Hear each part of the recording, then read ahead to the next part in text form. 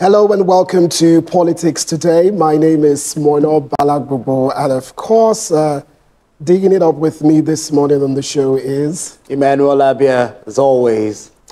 And uh, good to have you on the show today. We've got quite a show for you as we will be looking into calls for the restructuring of the judiciary system in Nigeria. And of course, this has been filled by a viral video of uh, Senator Bulkachuwa you know, who was trending due to his comments at the ninth uh, National Assembly valedictory session, uh, that, which was last weekend. Uh, and of course, we're not alone today to talk about this issue. We've got with us right here in the studio a legal expert, uh, principal solicitor, Barrister Mike Umona. Good morning to you, sir, and thanks for being with us. Thank you very much, Mona, for calling me. Also joining us uh, from Abuja, uh, of course, is the executive director of Electoral College and a former FCT senatorial candidate, uh, Honorable Kunle Lawal. He will be joining us via Zoom this morning. Good to have you on the show. All right, uh, let's quickly take a look at the video of uh, Senator Bulkachuwa, you know, his confession during the, the ninth uh, Senate National Assembly uh, valedictory. So take a look. We'll be right back and we'll talk with our guests. My wife, whose freedom and independence I encroached upon while she was in office. And she has been very tolerant and accepted my encroachment and extended her help to my colleagues. Uh, distinguished, please, I, I don't think this is a good idea going this direction. It's not a good idea. It's not a good idea, please. So once again, I'd like to make a welcome uh, Barrister Mike Umunan to the program. Thank you so much for uh, on the show. I know you've seen the video. Thank you. I would love for you to just quickly react, looking at the state of ju judiciary. What does this say about your profession? Are you embarrassed at all?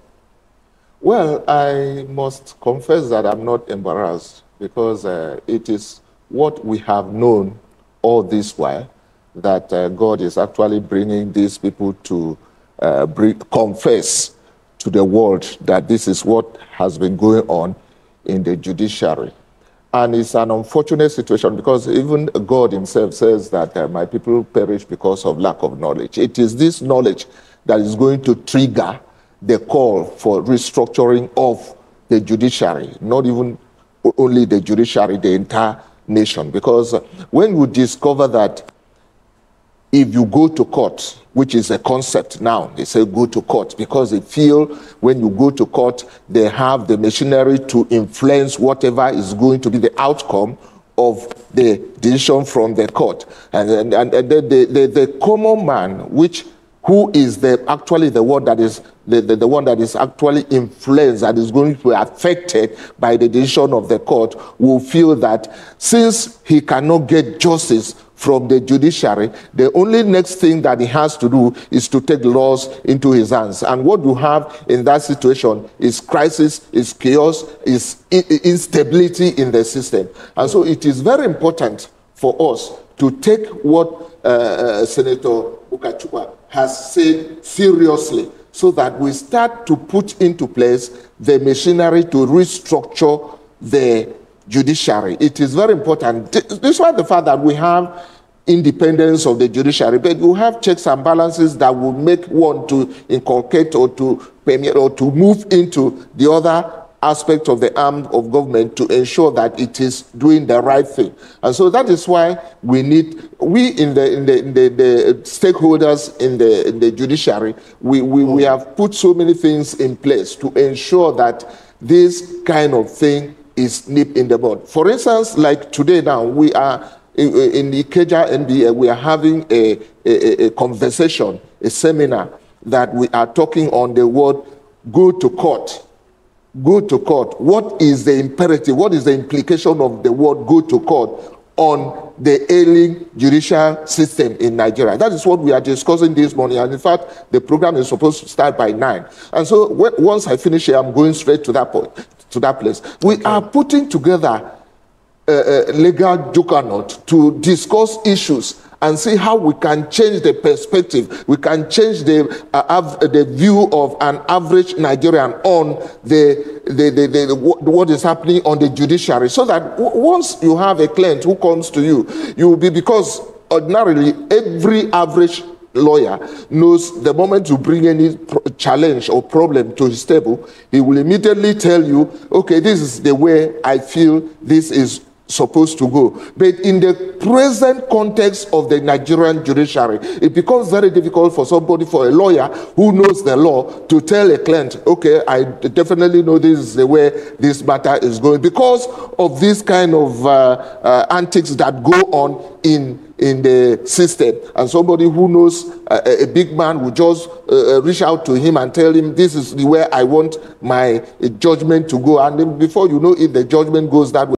That is, it portends danger to this nation. And we have to put our hands together and come together to see that we ensure that this does not continue.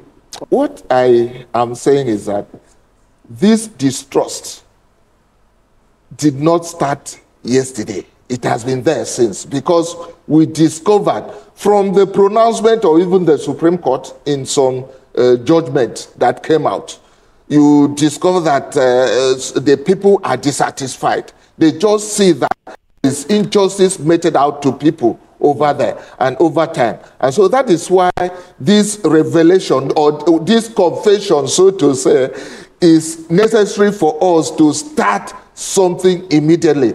You see, in same societies, they would have immediately arrested this man and the wife and then asked them to tell us. They review all the judgments that Honorable Justice uh, Bukachuka. There's another video that shows uh, um, um, Senator uh, this uh, uh, Rochas or Okorocha, yes. who, who, who now uh, was Asking just tickling the, the, the, former Senate the, Senate how president. How did you place. come here? We, yes. two of us contested the presidential mm. and uh, we came back. Rochas is going out. I'm, I'm, I'm, not coming back to the Senate and you uh, tell me the secret. All this just to, to show that there is something going on in the judiciary because we know how the man came back. So these are the issues. These are the issues that we, the stakeholders in the judiciary, are trying to address to ensure that the average Nigerian will have confidence in the outcome of any judgment that comes from the judiciary.